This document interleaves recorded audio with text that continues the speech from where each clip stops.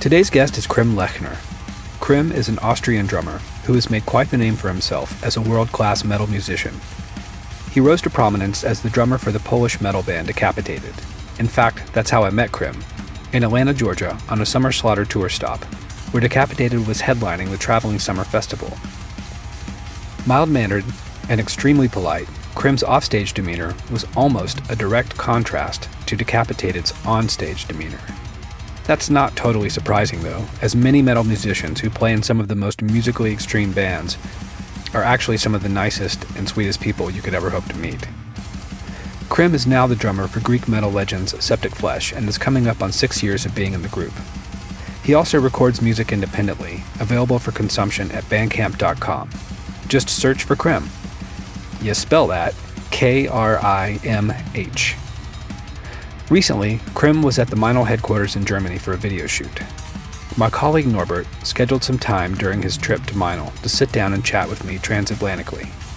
I really enjoyed my time speaking with him, and I hope you enjoy the podcast.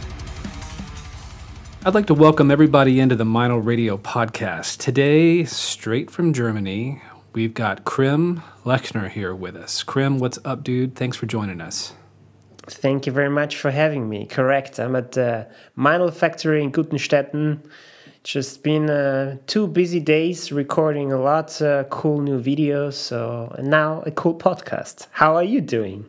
I'm good, man. Things are, are cool over here. Well, that's not correct. Things are pretty hot over here in the southern yes. U.S. but um, yeah, I have zero complaints right now. Um, cool. Man, I've got uh, a bunch of questions I want to throw at you and pick your brain about some things. So let's dive right in. So, first of all, you and I, we've not had the chance to work together too much. I mean, we've hung out some, like at the Meinl Drum Festival. Um, Correct. You're in Europe. Uh, you're in Europe. I'm in the States. Uh, the last time I saw you in the U.S. was years back when you were playing with the Polish metal band Decapitated, and that was on a Summer Slaughter tour. But oh, 2010. My first yeah, US dude. tour, to be honest. That was your first US tour? Yes, that was my first US tour. Wow. Yes, well, now when we catch up, when we catch up now, your main gig is you're with uh, a Greek metal band called Septicflesh, and correct. You're from Austria. Now, Decapitated was from Poland. Septicflesh is from Greece. Have you ever played in a straight up Austrian band?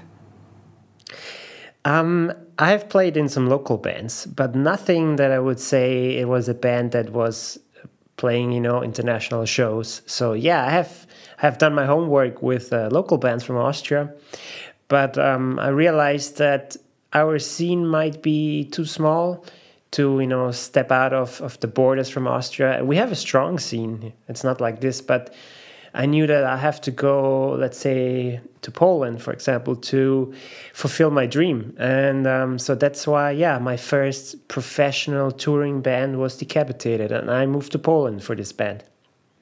And you still live in Poland now? No, that's not correct. Um, I have stayed around five years in total. It was always like a back and forth between Austria and Poland. Um, Austria has always been my home country, and even though I spent or I've been like five years in Poland, you know, I had uh, I had there a place to live and back and forth. But right now, I'm living in Austria again. Oh, okay. Um, yes. So now you're Austrian and you speak German as your first language, correct? Correct. Okay. Yes. And you also speak English very well. Um, ah, I try. I just pretend. I mean, you know, the funny thing is, I, I almost failed constantly in English, and all the English you hear now, I learned afterwards by, you know, traveling with bands, um, having conversations through the internet, writing back YouTube comments. So this is kind of, or this was my school. Hey, I mean, that's how you do it real world learning by doing, you know? Correct, correct. Well, so I have to ask now, did you ever learn to speak any Polish? You know, it's a very difficult language. Um, so many Polish people told me, like, you know, it would be cool if you could speak Polish, but we understand it's a very difficult language. So I was like, all right. And to be fair, um, I can understand quite a bit so this is easier for me. I cannot read anything because it's quite crazy. and I have this sh, ch, sh. It almost sounds the same, but it's not. And so I never really had the chance to learn it fully. Also, I have to admit that by not being so often in Poland, what I mean by that is I was on tour, um, and with my band and with everyone else on tour, I was speaking English. So for me, talking Polish was never really necessary to do. So that's why my understanding, I am completely immediately um, recognize if somebody speaks Polish. Like I know this is the language, and I kind of get the context, but it's just too difficult. So I would say I speak just German and English, and that's it. Yeah, it was strange when I was um, in Poland for the Meinl Drum Festival. I took a little time afterwards and did some sightseeing just on my own. And yeah. it sort of occurred to me once I got off the train from Warsaw down into Krakow that pff, I did not know any Polish. I mean, not not even the way to like ask for a restroom. And I mean, this is probably a typical American thing, but like when I've gone to other countries, I've tried to at least learn a few sentences to politely let them know, "Excuse me, I don't know your language. Do you know English? Can you please?" You know, if you give them a little, they'll take it as being polite, and then they'll try and help you. But yeah, definitely, definitely. Even in Poland, I mean, it was weird. Uh, the way that I gathered it was that the younger people, if they know another language, they know English. But the older people, if they know another language, it's Russian. Is that right? Of course. Yeah, yeah, definitely. And to say, like, uh, if you're in the city center, you're perfectly fine with English. It's just when you go a little bit outside and, you know, you have to deal with um, older people, they will not speak any English. Some of them do speak German because it's a you know, neighbor country, and it was quite common that they speak more German than um, English. Mm, interesting. Well, when you've been yeah. on tour with uh, in the past with Decapitated, and now with Septicflesh, aside from the language, how is it navigating the cultural differences between yourself and your band members? Um, yeah, it's.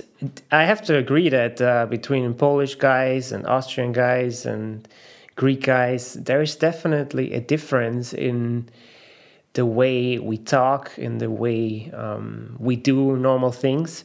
Um, but to be honest, I always try to be like a cool guy, try not to create any problems. And um, definitely with the Polish guys, there was more of like, there was more party involved, even though I'm not drinking any alcohol. But, you know, Slavic people do like to party. And um, with the Greek guys, they just uh, they're more how to say they're the kind of guys that hug you immediately and they're like having loud conversations because they're from the south you know same with italians so they sometimes scream at each other and you think they're having a fight but it's the opposite. They're just having a normal conversation. And me as the austrian i'm completely like oh my god this is like a fight. They're gonna break up and uh, there's no band anymore. But honestly it's just a, a normal discussion which you know they just talk a bit louder. And for me i enjoy that that i have sometimes some sort of a privacy that i do not understand everything. You know when you're 24 hours together on the tour bus for six weeks then uh, every privacy and i mean even by not understanding everything they talk about this is also a privacy because you know i don't my brain doesn't listen to that yeah. So I can, you know, I can chill next to them and they're having a conversation about whatever, and I'm just like, all right, let them do their thing, and I'm I'm chilling right here. That's actually so, got to be pretty nice uh, to be able to tune it out. You know, not have to listen to all. You, you're hearing conversation, but you're not really understanding it. So yeah, I could see how that would be. Correct. Getting away without even having to get away. Um, yes. Yes. Now, uh, as far as Polish bands go, you've also worked with Behemoth before, correct? Yeah, I helped out. It was back in 2013. And um, I played, I think, around 30 shows. Usually it was planned to have just six shows uh, during the summer, their summer festivals. But the recovery of Inferno, their um, original drummer, uh, it took longer. And uh, so they needed someone else to keep playing, and it they were happy in the way I played. So they asked me, okay, can you do the Asian tour? I said, yes, of course. And then it was like, can you do the Polish tour or the Poland tour? I said, yes, of course. So I started to play in summer and ended around in the winter and around 30 shows, yeah. Wow, I, I saw those guys here in Nashville with John Rice playing drums for them, and um, Ah, yeah, dude, amazing guy. oh yeah, great guy, great drummer. It looked like a really fun gig to be on. It looked the music was great. It just it looked like a lot of fun. Yeah, it's you know for me it was different than, for example, Decapitated. I would say the biggest difference is just the stage presence. You know, with Decapitated it was always like you have to nail like you have to be a, an amazing musician. It doesn't matter what outfits you wear. There's not this theatrical thing involved. Yeah, but with Behemoth it was like all right, you have to be an amazing musician, but you also have to wear corpse paint, how you present yourself on stage. You know, there's fire. We also had fire, and, you know, it was my first time playing with fire, and it's just kind of crazy in a small venue, which is already pretty hot and sweaty, and then they just turn on those inverted crosses and just they, they burn through a whole song, and you just feel like a barbecue chicken. It's crazy. Well, that brings me to a question I've got regarding the the death metal and the black metal communities. Okay. So, so the imagery uh, in these communities, you know, what they put on their album covers and their T-shirts and, and their stage clothes and all that, at, at its mildest, it would be called pagan, and at its most extreme, it would be just you know flat out satanic. Which whatever, it's cool. It's just part of the imagery.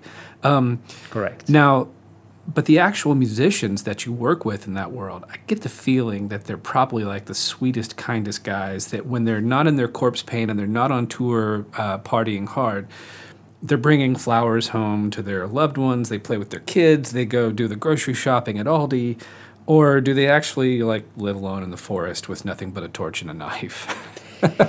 I think the second option is really like at the tiniest percentage possible. There are some people like this, you know, that you would say they are not really a fan of, you know, talking with other people and they like to stay somewhere alone and even believe in all the satanic stuff. But that's so small. It's, as you said, the opposite. From my experience, most of these guys, you know, the crazier they look, the sweeter they are and we are just like normal people and um, yeah we like to hang out and we do our groceries you know? We Yeah. yeah of course we spend time with the kids and as you said we're just normal people and when you go on stage and you put on corpse paint it definitely is like stepping into a different reality and in a different character let's put it like this way. It was the same with behemoth when we just put on the corpse paint i could tell that there was a different chemistry between us and it was also the way everybody was talking and walking and behaving was definitely different than off stage so this is like stepping into a different persona a different character and it's part of the thing but um, most of the guys are super cool guys you know Yeah, I imagine so. I imagine the guys that live alone in the forests with the torch and the knife. Those guys probably aren't really gigging too much, you know. At at that point, No, when you're doing that kind of a thing, you, you maybe you're not socially adept, and so you probably couldn't get a gig in the first place. No, I think those are the guys that just do the studio work thing, that just drop out an album a Right. couple of years in between. So yeah. Now, speaking of normal stuff, um, I was impressed to see that you've actually got a Maine Coon for a cat, and okay. we have uh, the cat that we have. She's I know she's part Maine Coon um, because she has all the traits of a Maine Coon. She's just Yes. not as big. Um, so I was surprised to see that you guys have uh, that breed of cat over in Europe. Um, I mean, Absolutely. yeah, that's Absolutely. that's really cool. How, how much does he weigh? He weighs. I just know it in kilo. I don't know. You have to do the math your own. Uh, but he's around ten to eleven kilo. That's more than some small dogs. And um, yeah, he's a big boy. And the whole Coon thing, he's actually from Poland, from a Polish breed, but it's uh, very common nowadays. So everywhere in every country, you have cat breeders that have Maine Coons. They're quite expensive, but definitely. Uh, and the Russians, the Russians love cats, and specifically Maine Coons and Sphynx cats. And yeah, the same goes for Polish people. You know, a lot of Maine Coons. And how old is your Maine Coon? Um, his name is Smaug, so I named him also because he looks kind of like the dragon from The Hobbit, and I just thought this is kind of it fits. but he's a sweetheart. You know, he's just this huge fat dummy cat, and he's um, eight years. He's gonna be in this year. Oh wow. Okay, so, so I just did the math. Uh, Ten kilos is roughly twenty-two pounds. Yes. So, yeah, that's a big cat. Um, ours is. Yeah, it's it's no. like two cats combined. Yeah, yeah. Um, I love the name too, Smaug. That's that's perfect. Fits um, right, but oh, but you know he has one million names because every day I create a different name for him, whatever comes into my mind. But his official name is Smaug, and yeah, he's a fat sweetheart. And yeah, I, I love cats. I mean, I love all kinds of animals, but cats always, you know, I always had cats, and yeah, I got this guy, and he's he's really cool. He's a good companion. Now, when you're on tour, who takes care of him? The family. So oh. it's um, dad or mom or my sis or some friends. Now, for example, while I'm here, a friend of mine is stepping by and giving him food and cuddles and stuff. So yeah, yeah. um, well, I have to ask here. You've had a really interesting career so far, where you've played for different bands on the road and in the studio.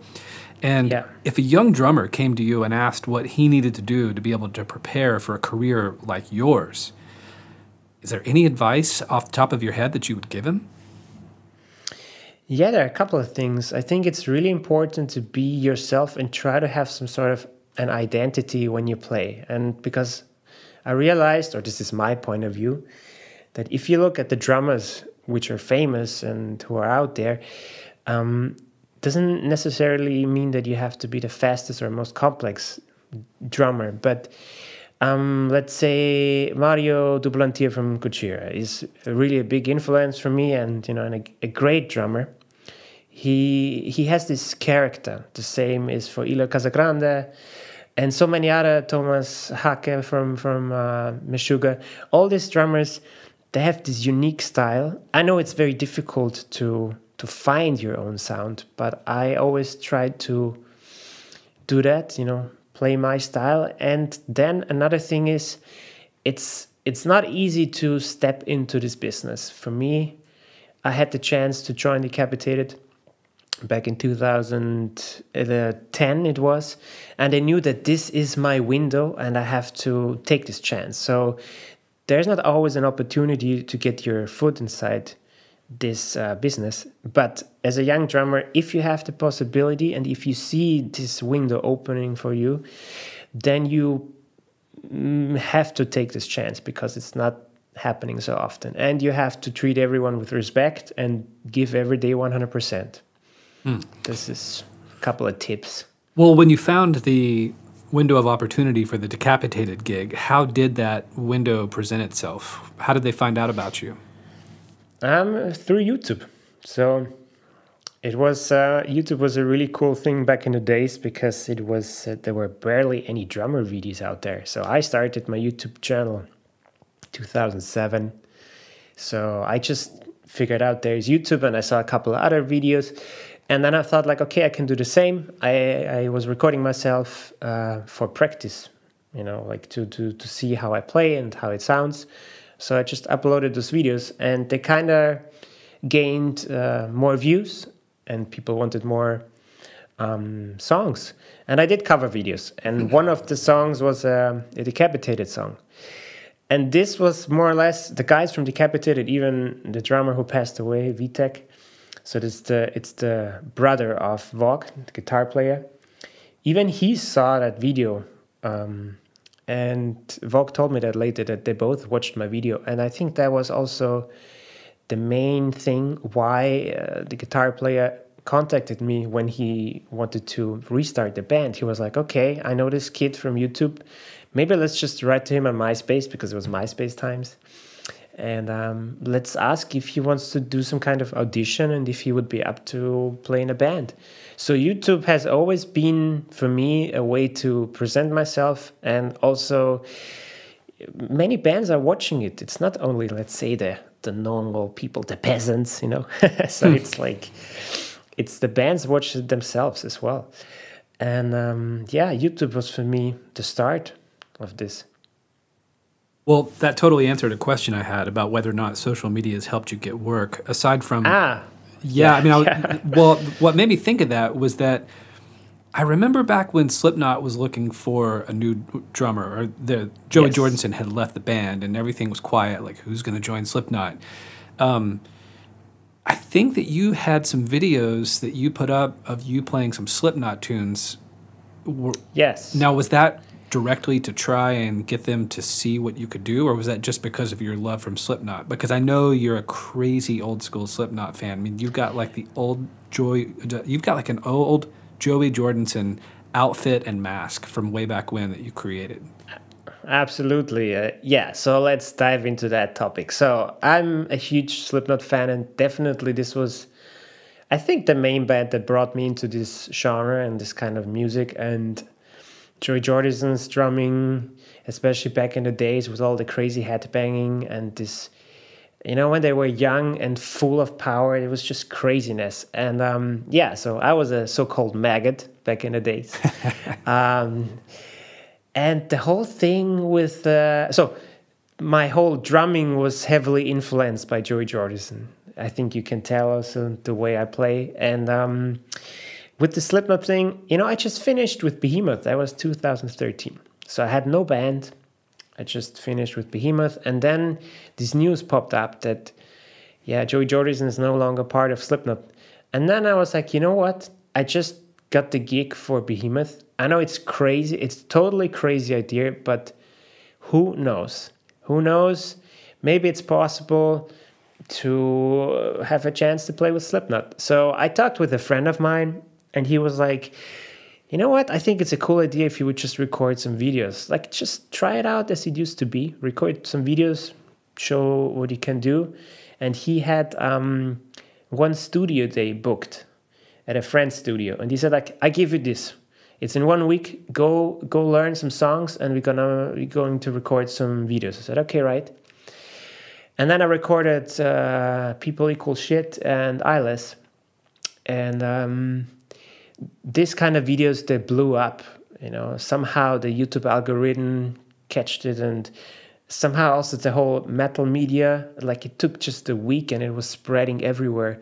And I just, I never really thought that I have actually a chance because, to be honest, if a band like Slipknot, which is its own country, if it's, it's like its own government, you know, they for sure, they for sure had already Jay in the background and everything with the management, blah blah blah. But I was like, let's try, and so I posted these videos, and to be honest, I never got uh, any response from the band or anything because some people thought I actually did, but I didn't.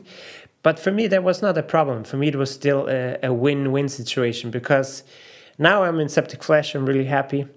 Um, the videos got, I think, each of them three million views over the time. So, and if I would be in Slipknot, it would be also a win. So for me, it was it was cool this way. Did you actually wear the Slipknot outfit that you made? Would you wear that to Slipknot shows? No, um, it's too small. There was I did that because you know I was a teenager and I was a fan, and I said to my grandmother even like, I I went to some um, oh, I don't know what is this store called, like some Home Depot style, and I was buying this this suit, you know, and I was like to my grandmother, hey, can you can you uh, put some patches on and can we change it? So we made the custom made. Um, so my granny actually made a custom made Slipknot jumpsuit. Um, and of course, I had to have some self-made masks because at that time you couldn't buy them. But I never was wearing that to a show. It was just you had to have it as a real Slipknot guy. And uh, for the videos, no, I just uh, normal outfit. But I was really overwhelmed by the, the response I got from the fans. So or fans, you know, there was so many people loved the sound and the way I play, and many said I should I should be the drummer. But uh, I'm I'm really happy that Jay has the job because he puts the energy in this band that it needs. So he kills it. Yeah, yeah, he does great. But okay, before we end the Slipknot discussion, you got to tell me this outfit. Did you just like come to the breakfast table in it? Once you made it, did you just hang it on the wall, or would you actually put it on and say like walk around the house in it? No, I didn't walk around the house. But to be honest, I would have I put it on. I put it on for a couple of you know practice sessions, and then I realized this is so uncomfortable and so hot. And I was admiring the guys even more how they could play a show in this outfit. So I tried it out, discovered that it's way too hot and too small. And then ever like since then it's just hanging in the closet. Memories, you know. Dude, speaking of it being hot and uncomfortable, my only real Slipknot story is that way, way back in the day, I was going to visit a couple of our artists whose bands were on tour with Slipknot at the time. And I had known that Joey Jordison was a real big King Diamond fan, and I had this old oh. King Diamond, and I'm an old, like, huge old school King Diamond fan. So I had this old Abigail, or no, it was a Them uh, concert shirt from one of the shows back then, and it was way too small for me at this point. And he's a small guy, so I brought it to the show, and I had one of our artists introduce me to Joey, and I gave him the shirt, and he was so stoked on getting this King Diamond shirt that he's like, dude during the show, come up behind the drum riser, just hang out up there. There's um, we've got like the the scrim that hangs down behind the horseshoe like behind me, so no one will be able to see. You can hang out my drum tech. Just hang out there. We'll do shots in between songs, and I'm going, okay. So I go up there when the show starts. I'm hanging out under the drum riser right behind him, and I can see him because like you can see through the the scrim curtain, but you can't really. The crowd couldn't see us, so Yeah. I'm with the drum tech, but there's like a bucket of and a mop in the bucket, and there's hot water and some some soap in there. I'm like, what is that? And there's all these shots that are just lined up. And I got the feeling that the shots that were lined up weren't because I was there. That's just like the way things were. It was like standard operating procedure. And so then in between songs, when when they wouldn't go immediately into the next song, he'd jump off the drum kit. He'd come back there. He'd lift up his mask and he'd throw up on the ground and that's what the mop and the bucket were for because he was just so hot. And then after he'd throw up he'd take a shot which i thought oh my gosh that's insane. It is. but then he would go right back out and just nail it. Anyway it was really bizarre but it was really cool to watch. It was like it was fun. Yeah, it is bizarre, and uh, thanks for sharing this kind of unique thing. I mean, I there are there's footage out there that Joey is puking around quite often before shows. Maybe there was a thing. Maybe he can do that on you know on the spot. But which which year was that? Oh, Dude, great question. Um, the years run together for me. It's sad to say. Um, if I had to guess, I would say this was maybe around. I don't know. Two, it's somewhere between 2006 and 2010. Okay, okay, yeah, that's that's that's that's okay. That's okay. I'm not even really sure. It's so strange. Um, there's a period of time once I started working at Meinl where the years kind of blended together. um, Why is that? because time is flying, or because of too many shots behind the stage? no, well, time is flying. Um, but moving on from Slipknot, um, Yeah. I wanted to ask. Now, your band Septicflesh, you guys just put out your first live DVD, Correct. and um, tell us the name of the DVD. It's Infernus Sinfonica, if I'm correct. And then um, we recorded this whole thing in Mexico City. You did And this last just- year, February of 2019, right? We did this on the 2nd of February 2019, and uh, we released it this year, just uh, like uh, two weeks ago. And why is it so special? Because we played the first time with uh, full orchestra live. The thing is with Septicflesh, we always have a real orchestra in our albums, so we hire mostly the Prague Symphony Orchestra, or like it's not the symphony orchestra, but it's it's uh, an orchestra in Prague that records a lot of soundtracks, and we hire them to have real orchestra. But life you can imagine it's difficult, you know, money wise, and the whole organization. It's just impossible to do that every day. But it has always been a dream because the band was made for this scenario. And then we got the offer from a Mexican promoter, and he said, like, you know what? Maybe we can do that. It would be a dream of my own to to have Septicflesh here and play with an orchestra. And we kept the contact, and then we really made it happen. And the crazy thing is that it's uh, not only a full orchestra, but it has we included a kids choir and an adult choir. So let's say it was more than 100 people on stage, which is crazy. Mm. And so we we played the show. Um, we had a preparation for sure, like half a year before, because we had to make sure that all the scores are correct, that there's no mistakes. We had to adjust the click tracks so that every, like the conductor played with the click track and I played with the click track, and we had to make sure that everything is correct. But then when we came to Mexico, we had only three rehearsals, and to be honest, only one rehearsal with the whole band. Otherwise, it was always me and the orchestra. And then it was showtime. It was really crazy. So we had this really nice theater in the middle of Mexico City. It's a capacity of 3,000 people, was sold out. And then it was like, okay, we're gonna play with a full orchestra in front of 3,000 people and we're gonna shoot a DVD. And I was like, wow. So a lot of things at once. Um, I do remember certain certain parts of the show, but definitely my whole body and brain went into survival mode and just you know try to not make any mistakes because we had only one one take and one shot. I realized this afterwards when I came off the stage. All the like intensity it just came down, and I was like, "All right, what just happened?" And then it really hit me, and then I could I could feel how tense I was, but everything was working fine. And uh, now we released the DVD, and it was definitely a milestone for us. So very unique uh, experience. And yeah, if you guys wanna check it out, it just got released uh, through Season of Mist. There's a live DVD out there. Yeah. Can it be downloaded as well? Uh, I think downloaded. Not. I. I'm not sure. It might be that there is uh, the full thing on YouTube already by Season of Mist, mm. but I don't know exactly what was the plan. But we have it in Blu-ray and a normal DVD. So, yeah. did anybody make any mistakes? Um, a little bit, but we kept them inside because you know it's one one performance and that's it. So the drums were pretty okay. I listened to it and it was like, yeah, that's fine.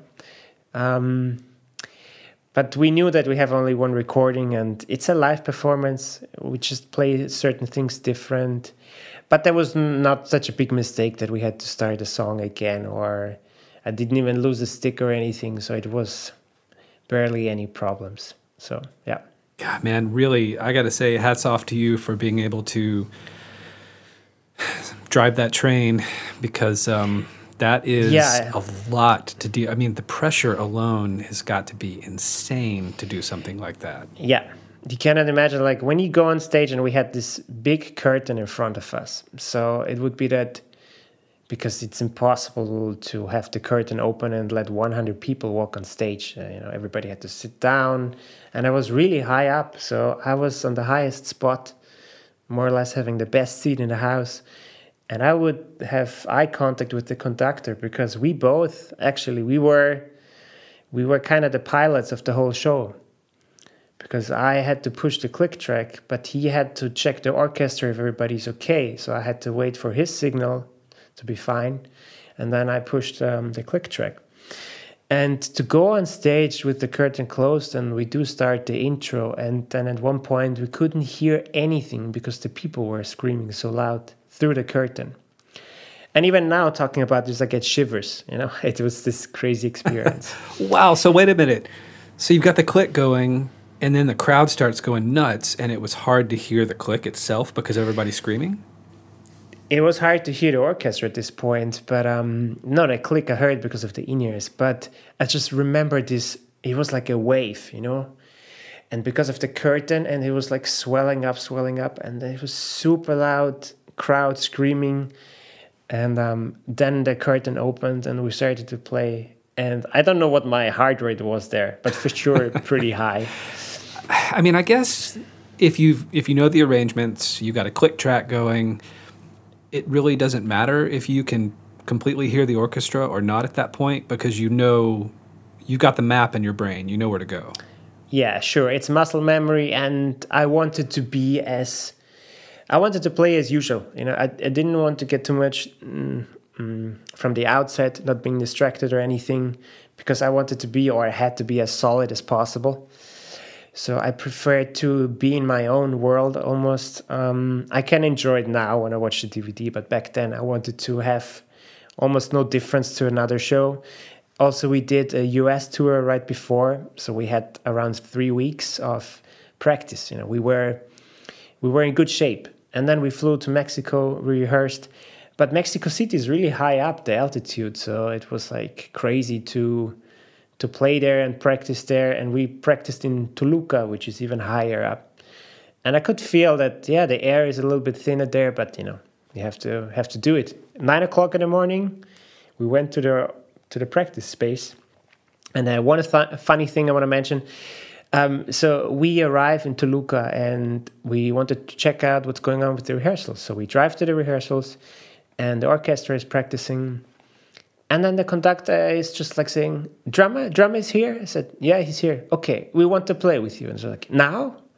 But I have to set up. Yeah, set up. So I was like, they were practicing, and you know they're like machines. They start at nine o'clock and they finish at noon, and then they go home. Uh, so I was setting up the drums uh, as quickly as I could, and I was like, "Okay, let's let's practice this song." And I started to play, and then everybody starts to turn their head in my direction. I'm like, okay, what's going on? Something is wrong. Then they start to take out the phone and they started to film and make pictures because they couldn't. It's the first time that they saw a metal drummer or heard a metal drummer. they couldn't believe what was going on there. And I was, of course, way too loud because classical instruments, especially strings, not the brass section. The brass is super loud and percussion, but the strings and woodwinds they're quite quiet. And um, so it's me playing as usual, you know, trying to get over the wall of guitars, but there were no guitars. So I'm playing, and, and then after one song, the conductor says, like, please, more quiet, more quiet. And then I had to play as quiet as I could with two beat drumsticks, you know, with trees in my hand. And, you know, in order to play fast, sometimes you need the rebound and you need the power of, like, when you hit hard, you can play faster. So I had to play as quiet as I could but still play the same thing. So it was funny that they were so surprised by a drummer doing all these crazy things, the double bass and you know blast beats, and so they had to take pictures and videos. wow! So wait a minute. In the show, did you also have to play as quiet as possible? And now in the show, I was like, no, I'm gonna play as usual. Um, but we put some this plexiglass, if this is the word, around me. Yeah, like, the clear sonic panels. Yeah. Yes. So we tried to do that, and I was really far in the back, as far as possible. But this this problem in the rehearsal space was that it was a very um, bad acoustic in this room, and this uh, the sonic panels, you know, this this glass thing, they reflected back on the wall and then to them in the front, and we had a delay. So until it reached the conductor's ear, there was almost no not a second but a half a second difference and everybody thought i'm playing out of the click but it wasn't. It was because of the room thing. Mm. so yeah it was uh, quite an interesting thing and we kept rehearsing like three three days in a row like that. Always in the mornings play with the orchestra and then on the last day we we practiced the whole band together. And that was showtime Wow. I mean, dude, I know you said you were a little, you had the shivers just talking about it. It makes me nervous just talking to you about it because, yeah, uh, for obvious reasons. I have, but like I said before, hats off to you. That's a crazy amount of respect I have for you actually you. pulling that off. Wow. Um, I had to. I mean, yeah, you have no choice. It's your, it's your job. Correct. Um, who was the person that thought in your band, like when the person that thought of it brought the idea to you, I'm sure immediately all of that pressure flashed through your brain, and you probably looked at him like, asshole, God.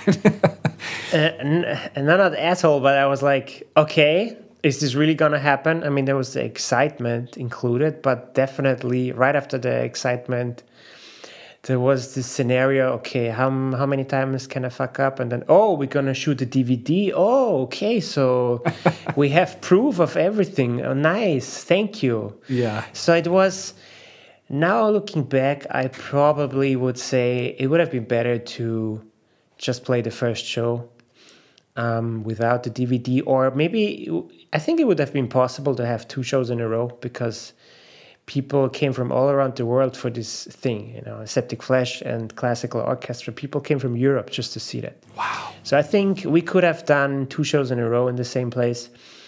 And they booked the venue 24 hours. So at midnight, they started to set up the stage and the light and the cameras. And it was quite stressful. And they had the original plan to play the full set on the afternoon, like as a final practice. But I told them, guys, the set is one and a half hours long. You want me to play that twice on one day, like full power? I'm gonna die later on. Yeah. So we said no. Also, with meet and greet, it was impossible, and of course, things were late, so it was quite stressful, adding up to the already stressful situation. So I would have preferred to just play the show, and maybe if you would repeat it, then have uh, the DVD shot. But we wanted to do it all at once, and yeah, I remember that sitting in the lobby like a year before this whole thing happened, so around 2018 ish. And our guitar player said, like, yeah, we might really do that with full orchestra. I was like, all right. I hope we really practice a lot because we cannot mess up. yeah. Well, moving on with Septicflesh, um, you guys start recording your album at the end of this month. So a new album you start recording one at the end of this month that's correct right? That's correct. Okay. we already started with the guitars. Now how did you guys write this?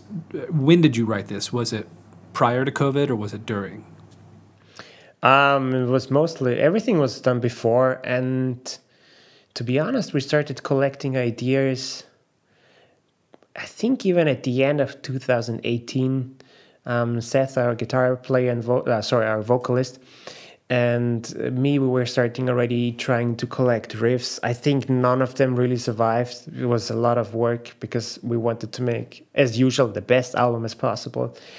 So um but we really started to work um, way more after our last show which was in december 2019 and then from january on it was like full songwriting mode. And um, yeah so i started to try to come up with riffs because i'm also involved in the songwriting. And if i had ideas with guitar parts i sent them over. Of course i'm not the main songwriter it's the other guys but it's like um, our guitar player writes certain songs our vocalist writes songs um, and he's also the guy who has the overview and he's very good with the arrangement and our guitar player is the guy who writes for the orchestra because he he uh, studied classical music in London, and he's the guy who writes all the scores for the orchestra. And so we started from January on. Um, and then the whole COVID thing happened, and the original plan was to start recording drums first. That's how you usually do that. But uh, that was planned to be happening in May, and um, Sweden has been declared a high risk zone, still is. So no flights going there. Now they have. Um, and we moved it to next week. The plan is that I fly next week to Sweden, to Fascination Street Studios, and I'm gonna record with Jens Bogren, who did also our last album. I'm gonna record with him the drums. And if everything goes well, I keep my fingers crossed, I'm gonna fly next week. Is this the yeah. first flight you'll have taken since being uh, grounded from the pandemic? Correct. So I have been all the time at home. I didn't fly and I will not fly after this also. You know, I'm not planning to do any holidays or fly somewhere while this whole thing is happening. So this is like a business travel. I want to have this album done. And to be fair, it's pretty cool now that it got uh, postponed because I had more time to practice with the songs and really get into them. So I'm playing them every day and repeating them over and over again. So they are basically in my DNA and I can work over parts. It just feels more comfortable. So I think when I go to Sweden, it will be not an easy piece of cake, but it's gonna be easier because I know what to do. It's just playing that tight but uh, it's very cool with Jens Bogren. He's the guy who likes to work in the mornings as me. We get up at seven and then we start at eight o'clock and we, we are like machines, you know. We start with the first song, then I change all the skins. He edits the song, then we do the second song, then it's lunch break. I change the skins again, then we do a third song, change the skins again, maybe do a fourth song on that day, and then we go sleep, and the next day the same. Mm, that's cool. Yeah. Now, because of there being no real plan in place for when bands can tour again, how do you guys do you guys have any sort of game plan or ideas for how to support this record? Yeah, it's, it's, you know we want to push back the release. It is supposed to be out this year, but it's not gonna happen. Mm. From what I know is from the label and management, we probably gonna wait until there's gonna be some sort of shows because we don't want to burn this album. You know, it would be a pity to do that by releasing the album while you actually cannot promote it on the road. Right. And we we don't have the stress from the record label, which is cool. So we we really work on every detail and we just record it as we can. Now we started with guitars in Greece, so we have the final guitars. Probably while I will be in Sweden, they're gonna start recording vocals in Greece. An orchestra is gonna happen in September, beginning of September in Prague, Czech Republic. Uh, and um, I don't know if I can be there to listen because of the whole COVID thing. It might be that our guitar player will be there through Skype and they will just record on their own. So the plan for now, I think, is going to be next year, beginning of next year, but depending how's the situation. So this is the plan for now for this album. Show wise, this year is gone. We will not book anything in this year. Next year is still a question sign. Um, we have to see how is the situation. We have to see how many venues surviving that, and then if the venues survive and we're good to go, literally every band in this universe, no matter which music genre, is gonna play or wants to play. Yeah. Well, I have to ask: yeah. Have you been making? How have you been making the most out of the the forced time at home and being off tour because of this? It, it might be too early to say, but can you think of anything particularly positive that's come from it for you? Um, I play more than I have ever done. I think if I look back, the last months or since January, it's been super busy, and then this whole COVID thing happened. But uh, for me, even during the lockdown, we were we were not allowed to meet up with people, but I was alone in the practice room. So everybody was staying home and I was going every day to the practice room playing. Nothing has changed for me. I was just playing, playing, playing. And the positive thing is that I think because I play so much, I can also focus on, you know, certain things that are disturbing me in my playing. Let's say if they're uncomfortable tempos, or maybe I can work on my technique, like perfect it and feel more comfortable and I just um, that was kind of my my way of dealing with the situation, just playing and doing what I love, do it even more.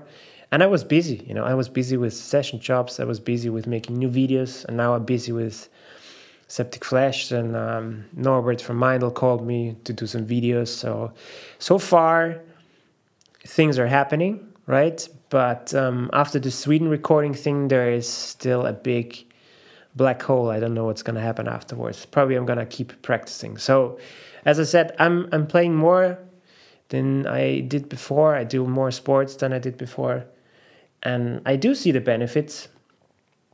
Yeah, so that's the the positive part of it in this mm. whole mess. Yeah, yeah.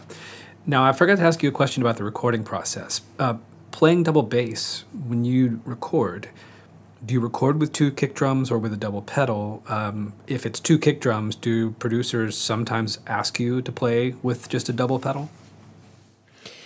Uh, I have done both, but I would say 90% of the time it's two kick drums, and they prefer two kick drums for the simple reason that you have left and right kick separated, so it's easier afterwards for the processing. Also, you know, my left leg is not as strong as the right one so it's easy to just make the left kick louder, right? Um, and it's just easier for for the producers and for myself as well. I just I'm not a big fan of the um, the double bass pedal because of this um, drive shaft that does add some weight. And if you used to play always with two singles, you do feel the difference. I mean, I can do it, but it's just better this way. The only downside is transportation wise now, for example, for these videos here for Meinl, I carried my drums. And with the car, yeah, and two bass drums, they just take so much space. It's really a pain in the ass, you know. Mm. this is the downside. But recording wise, I prefer it way more. Yeah. So two kicks always. And yeah, producers are happy with that too. They don't have a problem. So you drove up to Meinl from Austria with your drums? Yes, it's you know, it's Europe. The distances are not so crazy like in the US. So I will tell you that I drove six hours. That's for you like just around the corner, probably, right? no, no, I mean yes and no. Six hours is like okay, I could do six hours, but yeah, yeah, but if you drive six hours in Texas, you're still in Texas, right? yeah, yeah, it's, it's exactly right. If I was on, so I'm in Tennessee, the state of Tennessee, and if I was on the far eastern side where I grew up, and I wanted to go to the far western side where I was born, in Memphis, uh, it would take six hours to get from one side of the state just to the other side of the state. Correct. And they still speak English there and they still are Americans and it's still the same state, you know. Here it's different. You drive six hours, different language, different culture. Yeah. So Yeah. Now when when you come up from Austria and you're coming into Germany, I mean it's you're still speaking German, so there's correct that barrier that's removed. But is it just painfully obvious to you that you're in Germany and you're not in Austria anymore? I mean, is it you know what I mean, or does, are there a lot of things that still seem somewhat familiar? Um, there's a difference in the behavior of people, but not that I would say it's so crazy. Let me describe it this way: you have Irish people, right? Yeah, and then you have people which are from the mainland England. So let's say you have people from London and you have people from Ireland, or Scottish guys. So they both or all of them speak English, but the way of you know how they are this is the difference mm. and it's the same with austrians and germans we do understand each other of course some dialects and certain words we cannot understand yeah austria is a very small nation. If you look it up uh, how it looks like it looks like a chicken wing or something like this. It's tiny. We have only 8 million people.